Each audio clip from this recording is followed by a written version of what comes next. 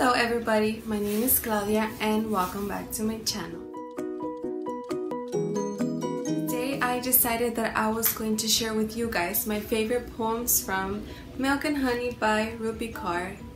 This book is a series of poetry books divided into four sections. The hurting, the loving, the breaking, and the healing. And I decided to pick three from each section and share it with you guys.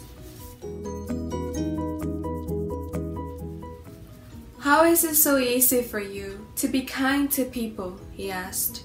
Milk and honey dripped from my lips as I answered, because people have not been kind to me. Every time you tell your daughter you yell at her out of love, you teach her to confuse anger with kindness, which seems like a good idea till she grows up to trust men who hurt her because they look so much like you, to fathers with daughters. Father, you always call to say nothing in particular. You ask what I'm doing or where I am, and when the silence stretches like a lifetime between us, I scramble to find questions to keep the conversation going. What I long to say most is, I understand this world broke you. It has been so hard on your feet. I don't blame you for not knowing how to remain soft with me. Sometimes I stay up thinking of all the places you're hurting, which you'll never care to mention. I come from the same aching blood, from the same bone, so desperate for attention, I collapse in on myself. I am your daughter. I know that small talk is the only way you know how to tell me you love me, cause it's the only way I know how to tell you.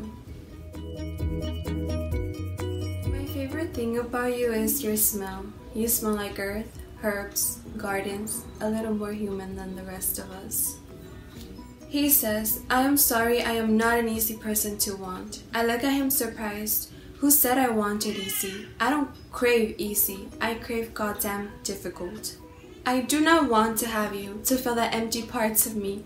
I want to be full on my own. I want to be so complete I could light up a whole city, and then I want to have you, cause the two of us combined could set it on fire. Always get myself into this mess. I always let him tell me I am beautiful, and half believe it.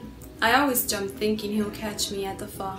I am hopelessly a lover and a dreamer, and that will be the death of me. I don't know what living a balanced life feels like. When I am sad, I don't cry, I pour. When I'm happy, I don't smile, I glow. When I am angry, I don't yell, I burn.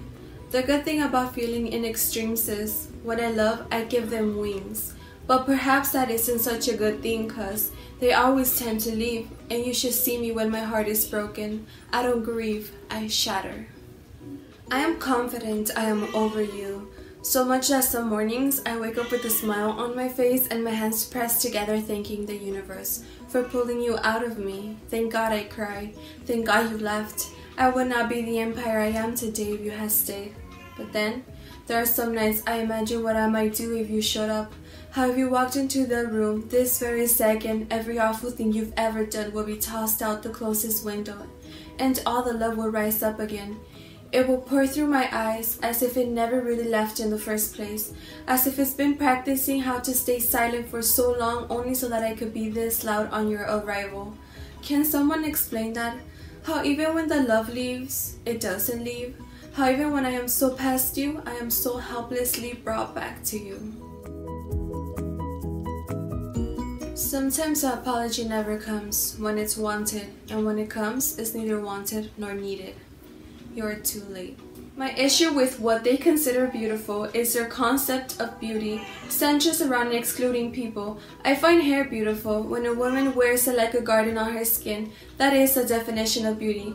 Big hooked noses pointing upward to the sky, like the rising to the occasion. Skin, the color of earth, my ancestors planted crops on to fit a lineage of women with thighs thick as tree trunks, eyes like almonds, deeply hooded with conviction, the rivers of Punjab flow through my bloodstream, so don't tell me my women aren't as beautiful as the ones in your country. I want to apologize to all the women I have called pretty before I've called them intelligent or brave.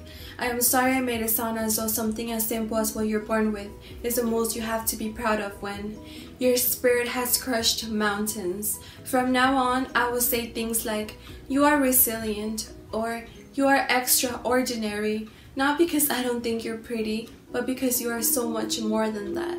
If you guys have not read Milk and Honey, I hope this video will give you that little extra push because this is really a wonderful poetry book.